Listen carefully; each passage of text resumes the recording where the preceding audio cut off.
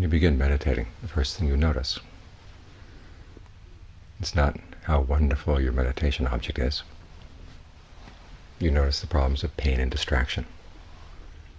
They constantly seem to pull you away. Actually, they're not pulling you. You're going after them. Because the mind has that habit of going after these things. That's the way the mind is now, and don't think it's going to be any different when you die. Those are going to be the two big problems you face, pain and distraction. Well, at that point, the pain and the distraction will be a lot more compelling.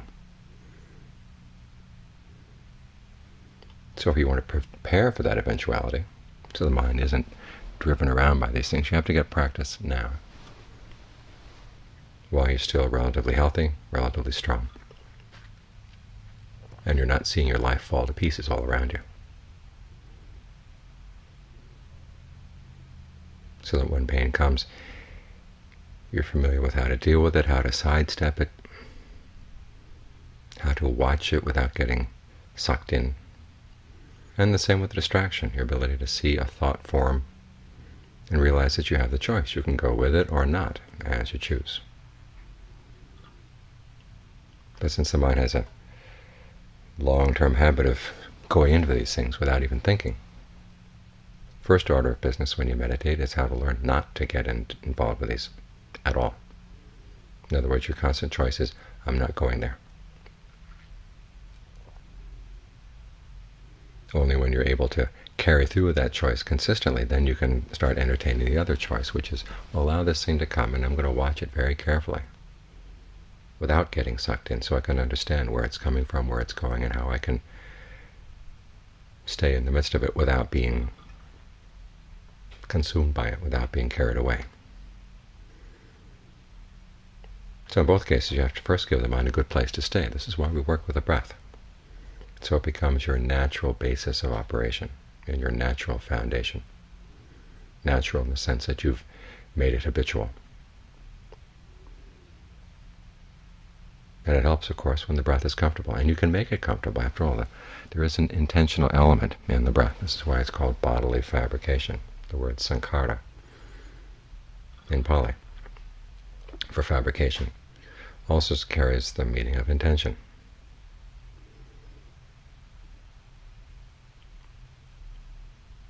So you can intend to breathe in a comfortable way. And a lot of the skill in the meditation is learning how to follow through that intention so that you're not forcing the breath too much, they're not messing with it too much, and actually making it more uncomfortable. And you're getting the right touch. What kind of breathing feels good? What kind of breathing feels best for the body right now? Sometimes the body needs energetic breathing. Sometimes it needs calming breathing. Deep, shallow, heavy, light. Lots of different ways you can breathe, lots of different places in the body you can focus. And you want to familiarize yourself both with the needs of the body and how they can be met by the breath. That's why we spend long hours just sitting here watching the breath, so you can learn about it. Think of it as an exploration. If you think of yourself simply tying yourself down to the breath without allowing yourself to think, without allowing yourself to evaluate anything, the mind is going to rebel very quickly.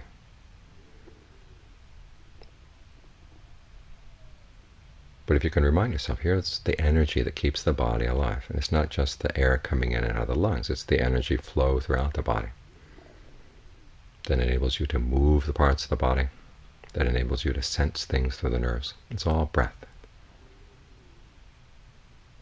Think in that way, and you realize how important it is to learn how to breathe skillfully, breathe with awareness, breathe with a good sense of what the body needs. Sometimes you have to consciously direct the breath in a particular way. Other times you can simply pose the question in the mind, what kind of breathing would feel good right now? And it's almost if you allow the body to do its thing, it'll find a good rhythm.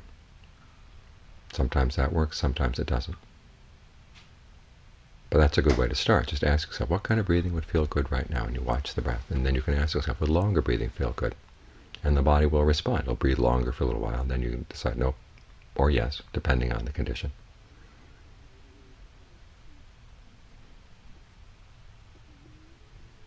Because there's a part of the mind that's already very sensitive to what feels good and what doesn't feel good, and you can start tapping into that.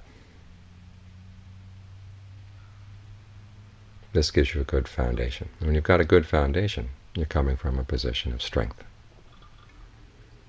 And when you're coming from a position of strength, you're in a much better position to do the right thing, to make the right choices. Working with this bodily fabrication also includes two other types of fabrication. There's verbal fabrication, which you direct your thoughts to something, and then you evaluate it. So you direct your thoughts here to the breath, and you learn how to evaluate it with sensitivity. And then there's feeling and perception. And we fabricate those as well, partly through the way we breathe, partly through the way we label things, how we relate to the way we label things. And feelings come in they do have a certain amount of raw data, but by the time they usually come to consciousness, there's been some processing going on. There's an intentional element in that as well. A lot of times the intention is subterranean. You've, it's become so automatic that you've forgotten about it. You're not paying careful attention. But here, as you breathe, you get more and more sensitive. What are these feelings in the body? How do you understand them? How do you relate to them? And also, how does the way you label them affect them. For instance, when you feel a certain sensation in your leg, if you just tell yourself, well, that's that solid leg down there, you relate to it in one way. But then if you think, well, this could be breath energy, if it's breath energy, then it's been blocked. It's not flowing. And simply labeling it in a different way gives you new possibilities for how you can deal with it, what you might do with it. If it's just dead, solid feeling, there's not much you can do with it. At least you don't think there is. But if you label as breath, breath is energy. Breath can move. It flows. Even when it comes up against a blockage, you can think of it flowing around the blockage, flowing through the blockage, maybe changing direction because you're forcing it in the wrong direction to begin with. There's lots to play with. So this forms your foundation. This is your basis.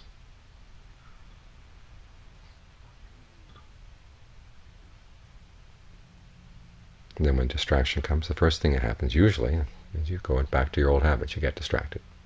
Think about this, think about that. You're in this other thought world. And you suddenly remember, wait a minute, I'm not supposed to be here. I'm supposed to be back with the breath. So try to drop the thought world and come back. And be prepared for the fact that other thought worlds are going to come.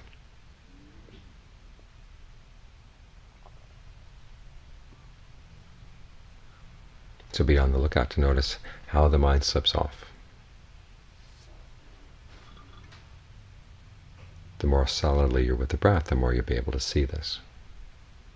And you begin to see the whole series of stages. There's a little stirring first, kind of in the breath energy, a little tightening someplace in the body. And then you identify that as a little tightening, and then you say, this is a thought about X.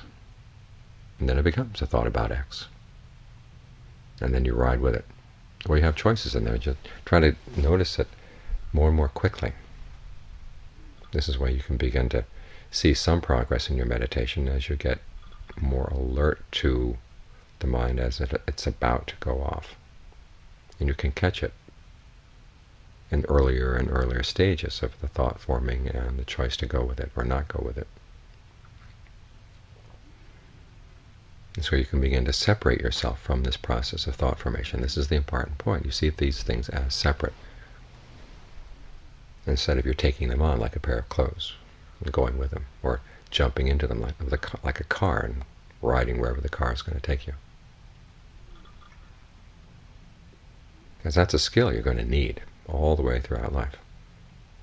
And at the moment of death, it'd be very handy to be able not to jump into thought worlds, because those thought worlds turn into actual worlds. This is the process of birth and becoming on a little level, but it's how it happens on the big level as well. This is one of the Buddha's great insights, is that the world at large operates on the same principle as the little thought worlds that we have right now. And the way you relate to your little thought worlds is going to determine how you relate to the world at large. The whole processing of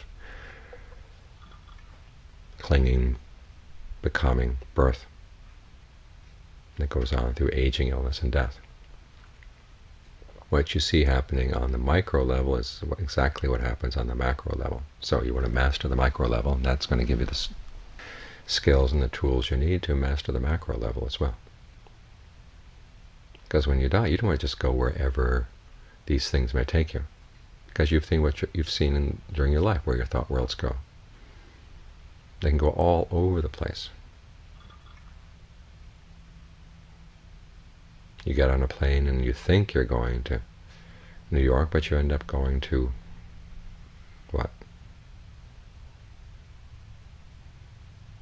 Australia, India, Bangladesh, Burma, whatever. They don't always go according to schedule or according to flight plan. The same thing is going to apply to those thought worlds that appear in the mind as death approaches. And particularly if it's an unpleasant thought world that's appearing, you want to be able to stay away from it, to realize that this is just a construction of the mind.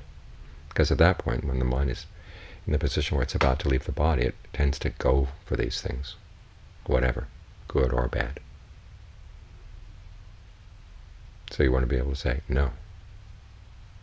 So you learn how to say no now.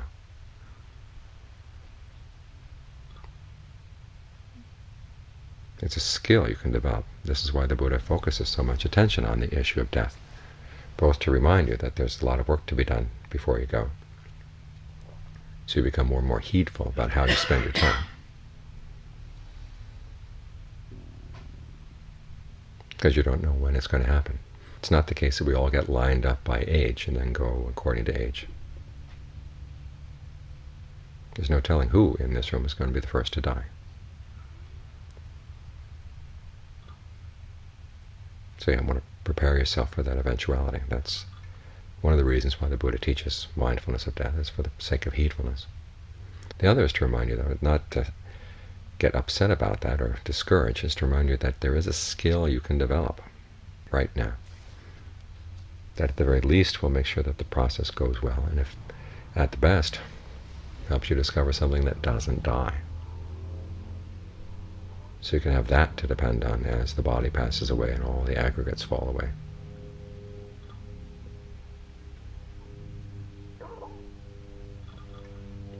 The same principles apply to pain. When you begin the meditation, the first step in dealing with pain is learning how not to go with it.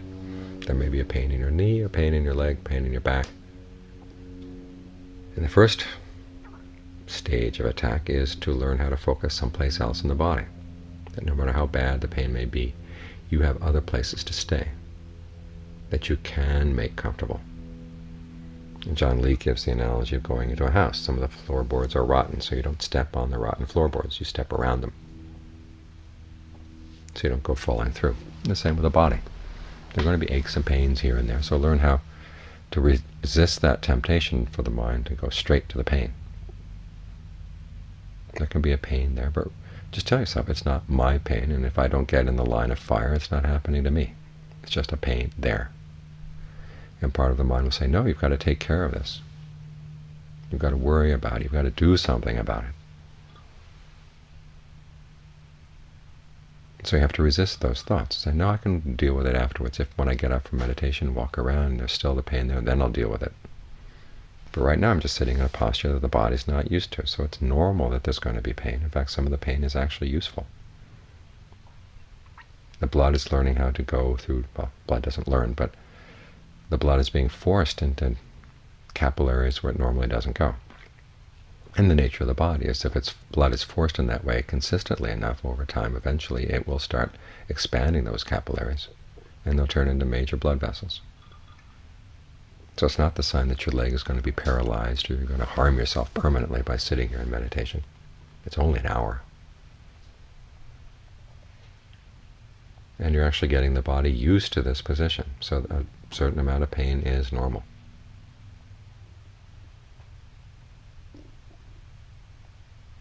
So if you can learn how to ignore all those scary narratives that the mind builds around the pain, then it's easier to stay away from it. Once you've mastered that ability to stay away from it and to develop a sense of ease with the breath, one of the things you can do is think of the breath energy that flows around the pain. Maybe part of the pain is being aggravated by the fact that the breath energy is not flowing there properly. So say there's a pain in your knee, you start thinking about the breath going down the back, Wherever there's a sense of blockage in your spine, just loosen it up, loosen up, go down vertebrae by vertebrae, down to the tailbone, then out the leg. Think of the breath energy flowing through the knee and out through your toes. See what that does to the sensation of pain there. Sometimes it'll help it, sometimes not. But you've got an extra tool for dealing with the pain. Once you develop those two abilities, one, the ability to stay focused on a different part of the body, develop a sense of ease there. Two, the ability to allow that sense of ease to spread down through the pain. Then you're ready to go right into the pain. Say, what is this sensation of pain? Is it constant? Does it move? The perception, the label I place on the pain, is it accurate?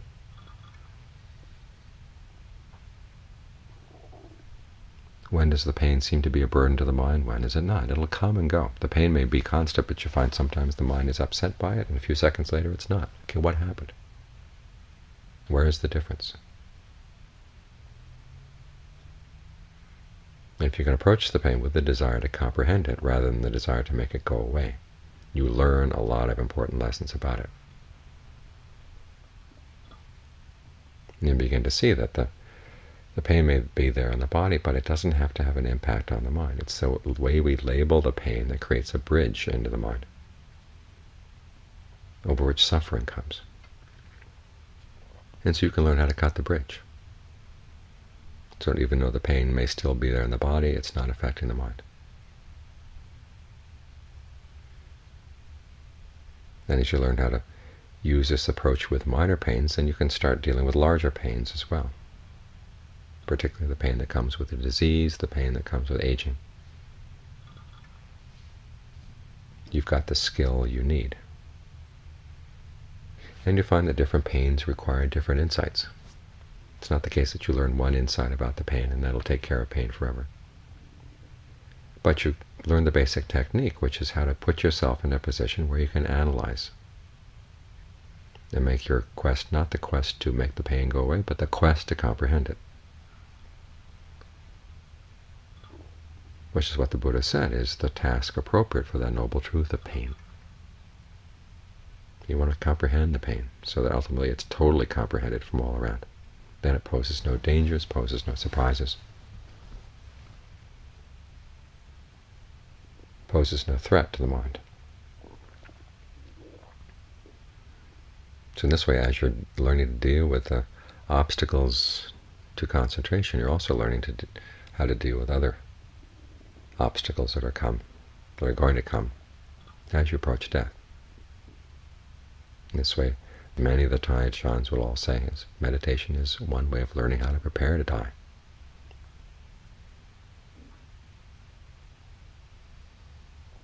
So you can do it without suffering. And that's a really important skill. So as you're sitting here struggling with pain and distraction, realize it's not just a little thing you're doing here. You're learning an important skill. You're working on skills that are going to stand you in good stead for a long time to come.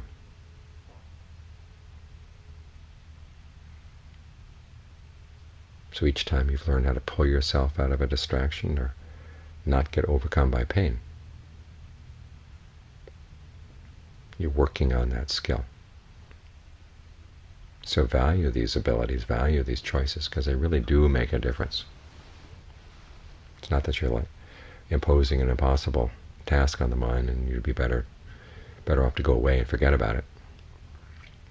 When you find that you're sitting down and having trouble to get the mind concentrated, don't think, well, maybe this isn't for me, maybe I should try something else. You're avoiding the skills that you really need to learn how to live properly. Because if you can't get past pain, pain will start driving you in all directions, even before you die. Pain and fear of pain, loss and fear of loss. These are the things that drive people to do really unskillful things, even evil things in life.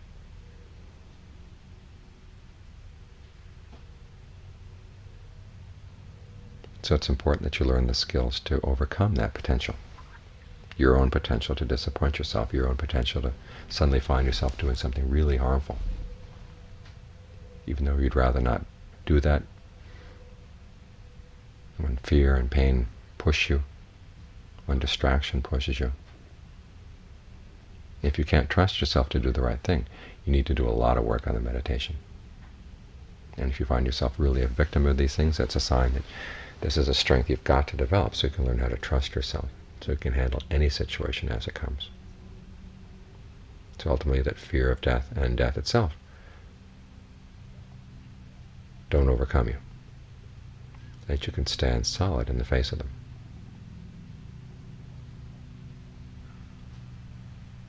That's a skill that everybody should learn how to master. And whether it's easy or not, that's not the issue. The important thing is that you apply yourself now to mastering that skill, and that you value the progress you make in that direction.